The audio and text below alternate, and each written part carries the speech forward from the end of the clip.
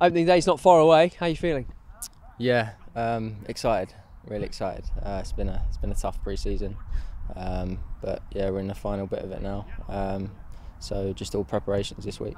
Let me ask about that first and foremost. Tough is a word that's been used to describe it quite a lot. Has it been different to what you've been used to? The amount of you know physical work you've had to do. Yeah, it's been a it's been a high demand, um, but it's yeah it's, it's been a new challenge um, and something um, that I think everyone's strived um, and and and and took it on took it on well um, and come out of it well. We're all, we're all feeling fit, all look fit. Um, so hopefully we can put it into the season. I'm always amazed how quickly the groups gel and, and how quickly it feels like you've been here for years when it's only been what six eight weeks or so. How, how's it felt from your side? Yeah, exactly that. It feels like I've been here for, for like a year. It, um, everyone's made me feel really welcome.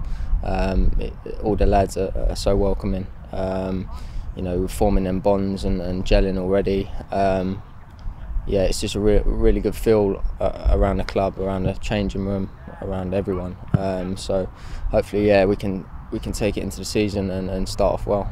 Pre-season's been good. I know you should never read into results and uh, uh, and that sort of thing. But have you been satisfied with, with the work that's gone on during the games?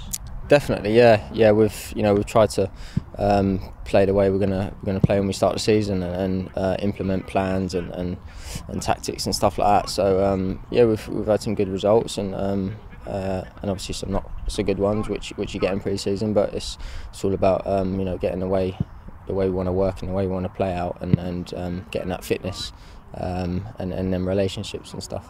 I think you, you've shown people what you're about a little bit already, crosses into the box, taking players on. Again, have you just felt settled and comfortable straight away? Yeah, just just feel just just full of confidence, um, and and that's what the place does to has done to me. Um, feeling really settled and and, uh, and I can just concentrate on coming out here and and, uh, and playing with confidence and, and hopefully starting the season with confidence. And you've moved to the area uh, as well. I know you've not been here too long, but are you starting to get just how important the football club is to the city? Yeah, it's massive everywhere I go. Um, it's just you just see a derby like derby all the time and, and see little kids with football shirts on and uh, you just see it all everywhere. So it's yeah, it's massive. It's obviously great support here. You know, every everyone's supports Derby here. There's so many so many fans. Um, and uh, it's going to be massive for us this season. Um, and I can't wait to can't wait to play in front of them. Getting recognised yet, or yeah, a little bit, yeah.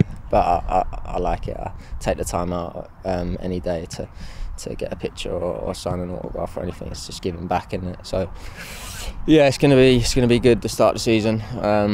Hopefully uh, Pride Park's bouncing. Uh, and look, ahead of opening day and, and, the optimism that comes with it, we have to ask what conversations have you had internally about what you think you, you can and, and maybe should achieve this season? As a group, um, yeah, we, we all we all want promotion. Um, we all want to be champions, so um, we're not going to settle for nothing less. So we're going to give it everything. Um, yeah, we're gonna we're gonna we've been pushed in pre-season as hard as we can. So hopefully it's gonna, um, you know, hopefully we're gonna see the see the stuff in the in the season.